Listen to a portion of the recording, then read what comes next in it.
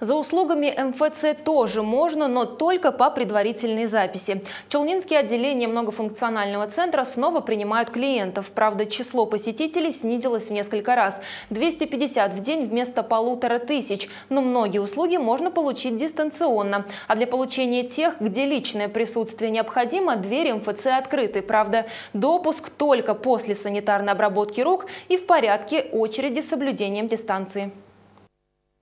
Необходимо внести именно э, информацию о том заявителе, который действительно планирует обратиться в многофункциональный центр.